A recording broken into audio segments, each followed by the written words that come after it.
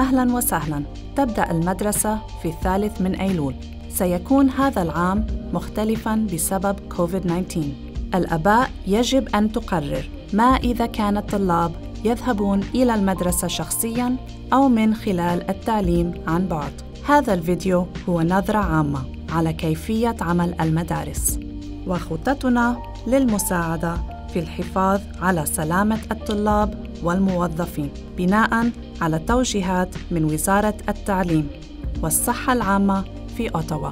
قبل القدوم إلى المدرسة يجب على جميع الطلاب للتحقق من أعراض كوفيد-19 سواء جاء الطلاب بالحافلة أو مع أحد الوالدين سيتم إنزالهم أمام المدرسة لتقليل المخاطر. لن يسمح للآباء بالتواجد في ساحة المدرسة أو بالمدرسة. سيصطف الطلاب عند علامات معينة عند باب المدرسة. عند دخولهم المدرسة سيقومون الطلاب بتطهير أيديهم ثم الذهاب مباشرة إلى الفصل. سيقومون بتعقيم أيديهم في كل مرة يدخلون أو يخرجون من الفصل الدراسي أو من المدرسة. تساعد إشارات الاتجاه في الممرات في الحفاظ على مسافة آمنة. بدلا من استخدام الخزائن سيحتفظ الطلاب بمعاطفهم وحقيبة ظهرهم وحقيبة الغداء في مكاتبهم أو في مكان عملهم المخصص. ستشمل تدابير السلامة في المدارس فواصل زجاجية في المكتب وربما في مناطق أخرى ومقاعد مخصصة ومعدات الحماية والوقاية الشخصية. سيطلب من الطلاب في الصفوف من الرابع إلى الثاني عشر ارتداء كمامات عندما يكونون في المدرسة. الطلاب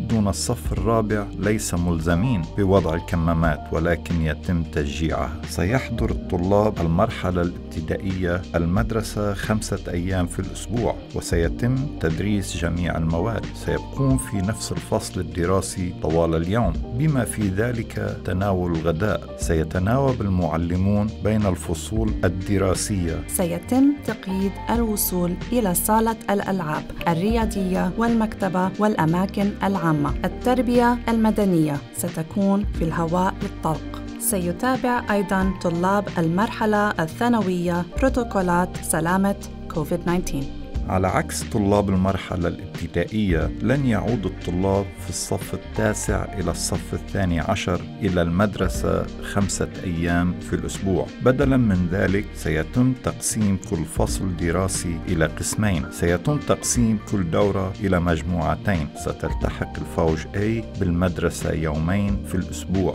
وثلاثة أيام في الأسبوع التالي. ستقوم المجموعة B بالعكس وسيبقى جميع الطلاب في الفصل لمدة خمسة أيام في فترة عشرة أيام. عندما لا يتواجدون في الفصل سيعمل الطلاب من المنزل من خلال التعلم عبر الإنترنت والمخصص من قبل المعلم. سيكون لدى الطلاب التعلم عن بعد مجموعة من التعليمات المباشرة عبر الإنترنت. وأنشطة التعلم والمواد المنشورة التي تعطي معا المناهج الدراسية المطلوبة. ستبدو الأمور مختلفة ولكن سيستمر تزويد الطلاب المحتاجين بوجبات الإفطار والغداء السريعة. نتطلع إلى الترحيب بالطلاب والموظفين العائدين للمدرسة للعائلات الذين اختاروا التعليم عن بعد. نحن نعمل على ضمان تجربة تعليمية عالية الجودة كما هو الحال دائما